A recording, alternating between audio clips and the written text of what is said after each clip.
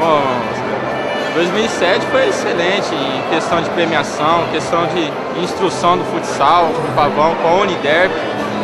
Agora 2008, vamos ver se a gente consegue manter os resultados de 2007, né? Porque 2007 foi excelente, sim.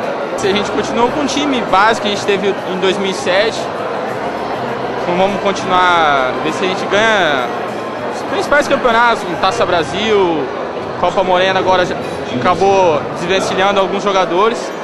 A princípio mesmo é montar um time bom.